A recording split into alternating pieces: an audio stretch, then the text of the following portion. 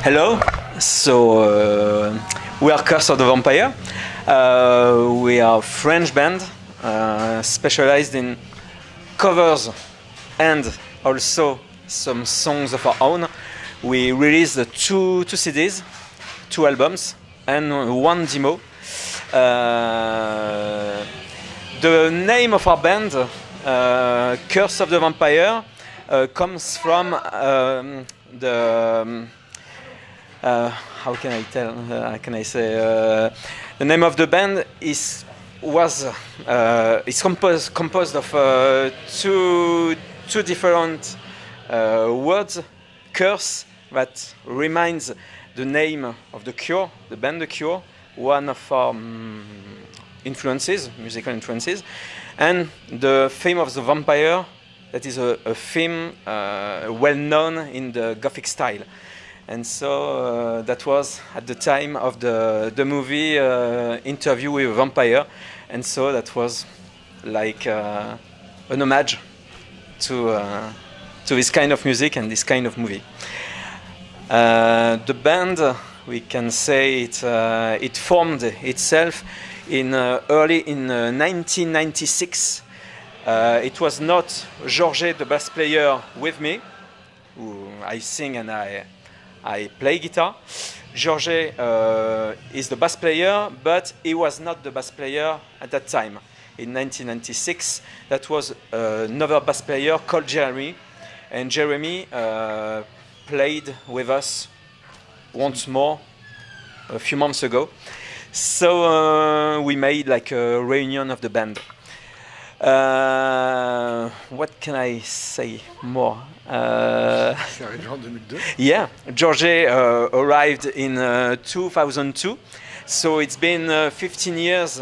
We are now playing together, and uh, we always have some great, great times together when we make shows like this, uh, like we had today with uh, the band Next Step from Italy, and specialized themselves in uh, covers of uh, Siouxsie and Banshees.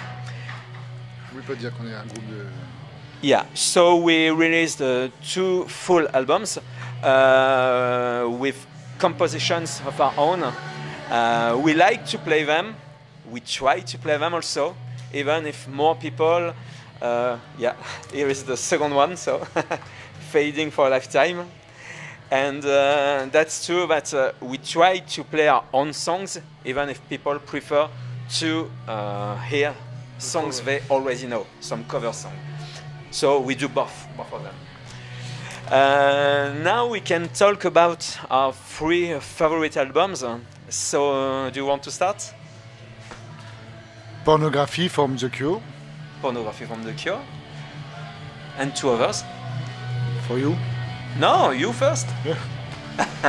so um, maybe I'm gonna be surprising, but uh, I have yeah, I have a Cure album. That's one of my favorites. I would take on an island if I was all alone. I had if I had to choose three CDs. I would take uh, Faith from the Cure. I would take, and it's gonna be surprising, but I would take uh, a CD from uh, Billy Idol. Yeah.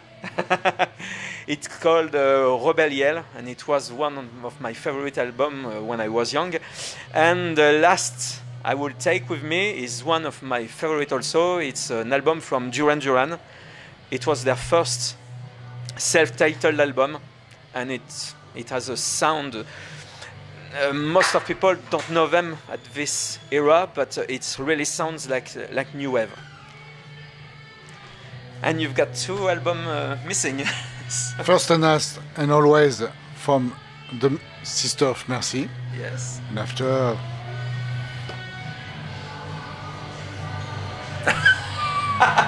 Fading for a lifetime. Curse of the vampire, of course, Of course. of course.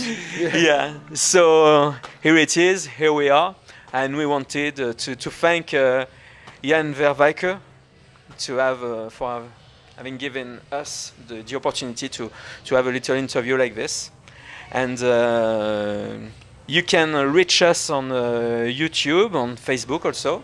Yeah. Uh, we have a personal page on Facebook.